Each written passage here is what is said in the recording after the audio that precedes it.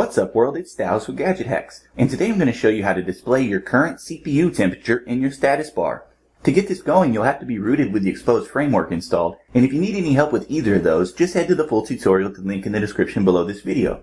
But the first step here is to head to the download section of your Xposed installer app and search CPU temp, all one word. From here, just tap the top result, then swipe over to the versions tab and hit the download button on the most recent entry. After a few seconds of downloading, Android's installer interface should come right up. So tap install from here. Then when that's finished, you'll get a notification from Xposed telling you that the module hasn't been activated yet and that a reboot is needed. Just tap the activate and reboot button on this notification and Xposed will handle that stuff for you automatically. Okay, so now that we're back up, the CPU temperature is already being displayed in the status bar.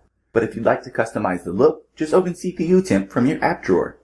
From here, you can set the update interval, which is how often the app polls for new temperature data. If you're having trouble getting the module to work on your particular device, it might be that your temperature file is stored in a different location than most phones. So if that's the case, you can use this second entry to select the folder where that file is stored on your device. After that, you can adjust the divider space with this third entry here. The next option is pretty cool though. By default, the CPU temp shows up directly to the left of all of your system status icons like Wi-Fi and Bluetooth and whatnot but you can set it to display the temperature at the leftmost edge of your status bar or even on the right side.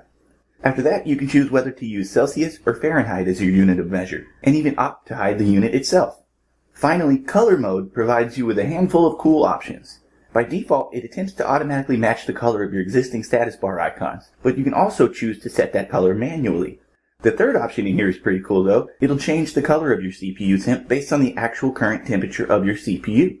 So if you select that, it unlocks a few more options below this entry.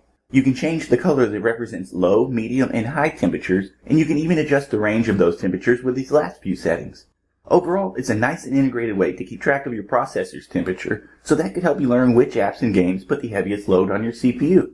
But for the full breakdown, be sure to check out my article over on GadgetHacks.com. And as always, we'd appreciate it if you would like and comment on this video and subscribe to our channel. So we'll see you again next time, folks, but until then, Happy gadget hacking!